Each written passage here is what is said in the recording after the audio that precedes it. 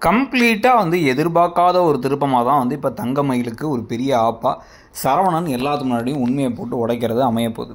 அதுக்கு முன்னாடி இன்றைக்கே வந்து அந்த விஷயம் நடந்துரும்னு வந்து பார்த்தா இன்னும் ஒரு ஏதோ வந்து கெடு கொடுக்குற மாதிரி கடன் வாங்கினவங்க அந்த க கடன்காரங்களாம் வந்து சொல்லுவாங்கல்ல நாளைக்குள்ளார நீ வந்து வட்டியை கட்டிடணுண்டா அந்த மாதிரி வந்து பத்தாயிரம் ரூபாய்க்கு காலையிலக்குள்ளே எனக்கு பத்தாயிரம் ரூபாய் கொடுக்கணும்னா எங்கே போய் திருடிட்டா வருவார்? இவர் கையில் எங்கேருந்து பத்தாயிரம் ரூபாய் கிடைக்க போகுது? எங்கேயோ ஒரு தேவை காசு இல்லைன்னா உங்கள்கிட்ட இருந்தே பணத்தை எடுத்திருக்காரு.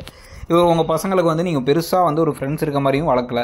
நம்பி கையில் காசு கொடுக்குற மாதிரி யாரையும் வளர்க்கல. அப்புறம் எங்கே இவருக்கு பணம் கிடைக்க போகுது? அதுக்கு ஒரு காரணம் வேறு. இப்போ கடைசியில் எல்லாரும் சேர்ந்து பேங்க்கை கொள்ளடிக்கலாமா அது பண்ணலாமா? இது பண்ணலாமான்னு பேசி கடைசியில் கையை விரிச்சிட போகிறாரு கதிர் என்னால் ஒன்றும் பண்ண முடியல என்னால் பணத்தை புரட்ட முடியலன்ட்டு. அப்போ வீட்டை விட்டு வெளில போடா அப்படின்னு சொல்லும் பொழுது தான் உண்மையை சரவணன் சொல்லிடுறாரு. இதுக்கு மேலேயும் பொறுக்க முடியாது. இது வரைக்கும் நம்ம பண்ணதே தப்பு அப்படின்னு சொல்லிட்டு. இப்போ தங்கமயிலுக்கு என்ன ஆக போகுதுன்னா வந்து சரி ஒரு ஹனிமூன் நிம்மதியாக போகலான்னா காசை கொடுக்காம விட்டீங்க. சரின்னு நானும் கொஞ்சம் ரூம் பார்த்தேன் ஐயாயிரம் போட்டேன். சரி ஏன் மேலே தான் தப்பு. நீங்கள் புருஷனாச்சும் நம்மளை காப்பாற்றுவார்னு பார்த்தா அவரும் போட்டு கொடுத்தாரே அப்படின்னு இருக்கும்பொழுது தான் இப்போ ராஜி கொந்தளிக்கிறதுக்கான வாய்ப்பும். இன்னொரு பக்கம் இந்த ஆதார் கார்டு விவகாரத்தை வச்சு அவங்களோட வயசை பற்றி யாராச்சும் பார்த்துருந்தாங்கன்னா அதை போட்டு விட்டாங்கன்னா அது ஒரு பக்கம். ஆனால் அதெல்லாம் இப்போ உடனே மாட்ட விட மாட்டாங்க.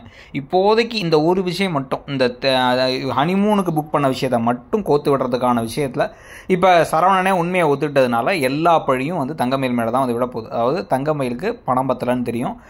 அங்கே போயிட்டாங்க. அங்கே போனதுக்கப்புறம் பணம் பத்தலங்கிறத சொன்னதுக்கப்புறமா வந்து மாமாவுக்கு கால் பண்ணி கேட்காம இல்லை உங்கள் அப்பா அம்மா கால் பண்ணி கேட்காம சம்மந்தமே இல்லாமல் வந்து வேலை பார்த்துக்கிட்டு இருக்க கதிருக்கு கால் பண்ணி கேட்டு அவர் பணத்தை ஏற்பாடு பண்ணி கொடுத்தாருங்கிறலாம் உனக்கு தெரியுமேம்மா. இத்தனை நாளாக சொல்லவே இல்லை.